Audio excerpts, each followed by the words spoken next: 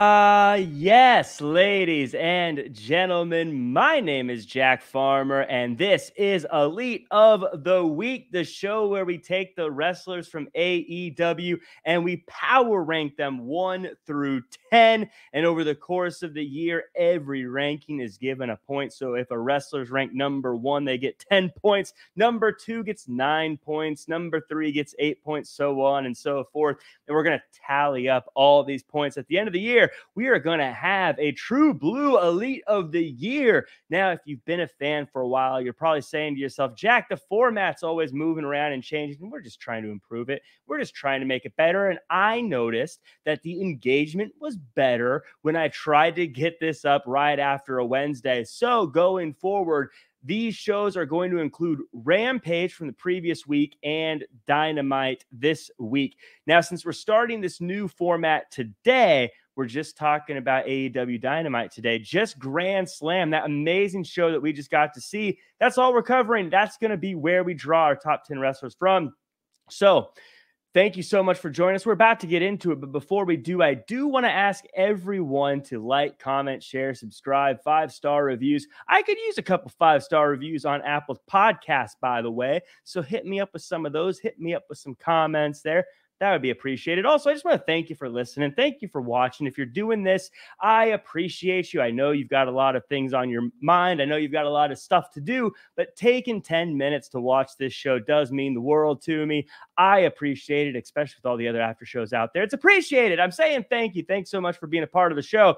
Let's get this show on the road, though. Let's talk about the wrestlers. Let's power rank them and let's start at number one, we have Britt Baker, DMD, main eventing AEW Dynamite Grand Slam in New York City putting the world title on the line. And did she defend it? Boy, did she? Her and the dental assistants worked together to get the win over a red hot Ruby Soho coming in looking like the heir apparent to the title. But no, Britt Baker hit that curb stomp, and she showed that today she not only can wrestle, she not only can do the hardcore matches, she not only can talk, but she can slug it out with someone. As I said, she hit the curb stomp, wasn't enough, but that's when those dental assistants got involved. She took advantage of the chance and she hit that lockjaw, retaining the championship, putting her at number one this week on Elite of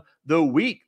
At number two, though, to start the show at number two, it's Bryan Danielson, who came out the American Dragon first match out of WWE here on AEW Dynamite. And he went toe to toe with the guy who's been running the show for about a year now. The impressive thing is, is when he got out there, no matter how crazy these fans seem to be, he stayed calm, he stayed focused, and he stayed on his game plan. And he put on an incredible matchup, surviving things like an avalanche, snapdragon suplex, surviving things like a snapdragon suplex on the rampway, taking V triggers, all sorts of things. He fought through it, and he didn't get the win. He got the draw, which I know stinks a little bit, but Here's the thing when you go toe to toe with the world champion and you get to that time limit draw, it makes all of us say, buddy, maybe you deserve a title shot. And I think that that maybe you deserve a title shot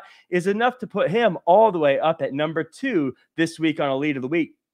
At number three, we have Kenny Omega, the AEW heavyweight champion of the world. Now, he didn't put his title on the line, and that's one of the big reasons why he's ranked so high, even though he did get a draw.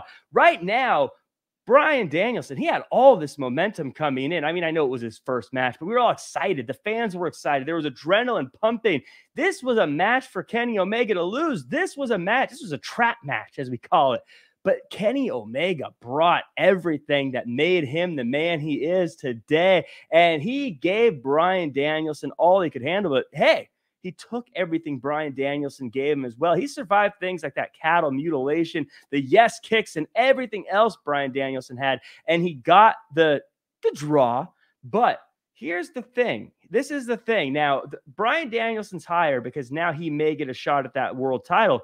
But Kenny Omega is still ranked high because, in a way, he's pushed off that title match now. He's pushed it away for a little bit at least, making it more of a sure thing for him to hold on to that title a little bit longer. And that is a good thing. And that puts him at number three on this week's Elite of the Week.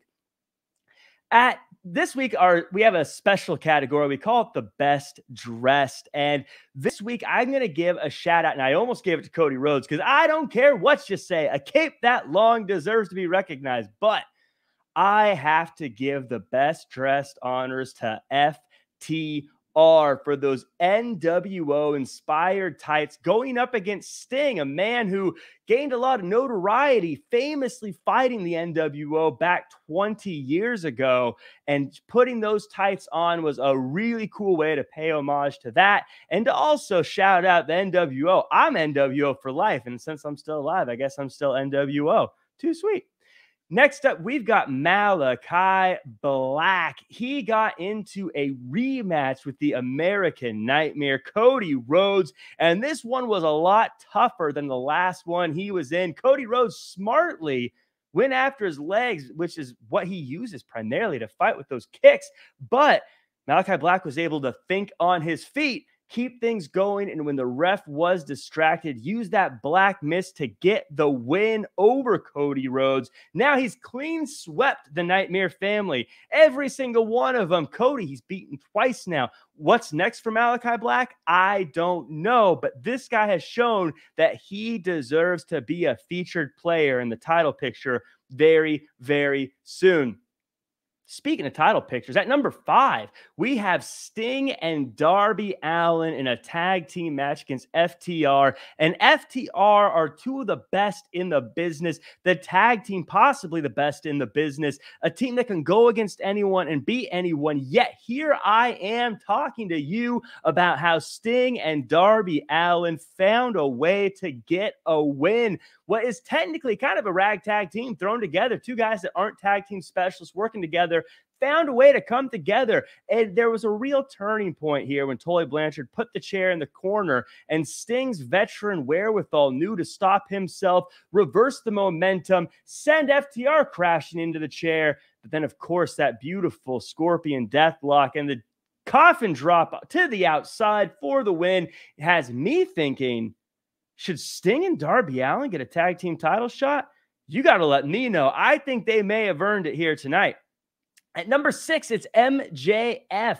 MJF coming off the loss to Jericho in strong fashion. Now, Brian Pillman Jr. is an upstart that has a lot of potential going forward, probably going to be a huge star. And he was riding high on the emotion of all the mean things MJF said about him prior. But MJF showed why he is one of the winningest wrestlers in AEW history, doing whatever it takes to get the win, even using Julia Hart as a shield at one point. But let's take all the shenanigans aside because he earned this win the right way as a great competitor, catching Brian Pillman Jr. off the top rope, locking him in the salt of the earth, and getting the wins back in the win column yet again. At number seven, it's Ruby Soho. She came into New York City as a person I think a lot of us wanted to see get the win. And though she came up short because the dental assistants got involved, at least that's what I call them, they got involved and distracted her. If not for that, this was Ruby Soho's match to win. She took it to Britt Baker. She took the fight. She took the curb stomp. She took everything and was asking for more. If this match happened again and we had a situation where maybe there was no shenanigans on the outside, I think Ruby Soho could get the win. So I think she's very likely to be getting a shot at that title again very, very soon. At number eight is Cody Rhodes again came out with that beautiful cape that just took the entire entryway. I don't care what you say. I loved it. I thought it looked great. Those tights were amazing. Now, he came up with a loss, but let's face it, Malachi Black is on a tear right now. No one's stopping that guy. He hit his crossroads, maybe would have hit it again if not for Arn Anderson bumping into him on the ring apron and some things not going his way. Of course, getting spit in the face. Malachi Black spitting in his face with the black mist. Oh, hey, a loss is a loss, but if you're going to lose, go down swinging. And that's what Cody Rhodes did today. At number nine, it's CM Punk. CM Punk, he didn't he didn't have a match today, but he came out and showed just how great he is on that microphone. Yet again, a lot of people are good on the microphone. He's comfortable on the microphone. CM Punk just seems comfortable every time he's out there, being himself, doing what he does, showing us that, hey, maybe an angry CM Punk is coming, warning us that we wouldn't like him when he's angry, even though I thought he was always a, a thing guy. But showing we may not like him when he's angry, and that we may see him angry when he faces Will Hobbs on Rampage. Number 10, Brian Pillman Jr. also came up with a loss, but like I said, he was in the ring with one of the winningest competitors in all of AEW history. A guy with a need to win coming off of a big loss. This was a huge step up for Brian Pillman Jr., a hero on Dark and Elevation in the tag team division. This step to singles in the big leagues of Dynamite showed that he can swim with the Sharks. And if he keeps getting these opportun- opportunities, he'll be a shark of his own very soon. That does it for us. That's the show. Real quick one, two, three, four, five, six, seven, eight, nine, ten. We go through them all. Now, next week, we will be after Dynamite, but it will also include Dyn- Rampage from this week and Dynamite next week. So, a, a, bigger pool of people to choose from. But for now, that's it for the show. Let me know who you think should have been ranked one through 10 or just number one. Let me know who I was missing, who I should have added, what I got wrong, what I got right. Thank you, everyone. Thank you, obviously, to AEW for putting on a great show and having some great wrestlers for me to power rank.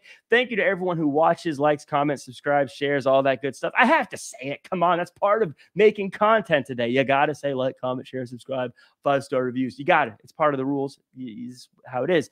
Let me know if you like this closer to Dynamite. Let me know if you like when the air date is, if you like the live nature, the unlive nature, all those different things. Uh, we will be back next week. And until then, as always, folks, do your best and be yourself.